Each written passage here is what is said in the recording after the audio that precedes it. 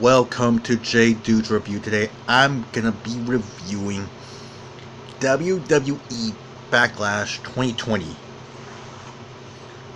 Oh, I usually have something to drink with this. Never mind. The Apollo Crews El Dante El Dante Dante El Dante uh, El Dante match for US title was a solid match with some cool spots to boot, despite the predictable interference. The women's tag team title match between Bayley. actually it was a three-way. It was Bayley and Sasha Banks, Alexa Bliss and Nikki Cross, and the Iconics, Billie Kay and P. Royce or something like that was it was also a solid bout with a nice finish to boot.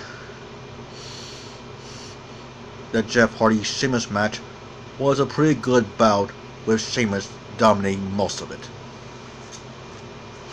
The overall Women's title match between Nia Jax and Ascana Elkana nice Elkana like Escada, Escake was a tip was tip top, but the double count ending ruined it.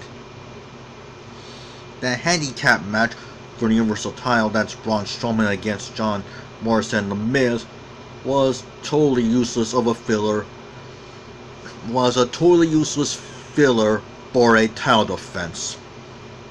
Man, I'm pretty awful on my water the WWE title match between Bobby Lashley and Drew McIntyre was a physical smash mouth brawl. And get ready the, the great, wait, wait. I can't say this. I say this. like the greatest wrestling match ever between I can't say that part. I'll just say this. The main event between Edge and Randy Orton was an awesome back and forth fantastic bout despite the wacky camera angles, crowd dubbing, and too many false finishes. Too many false finishes. I give this event a 6 out of 10. A 6 out of 10.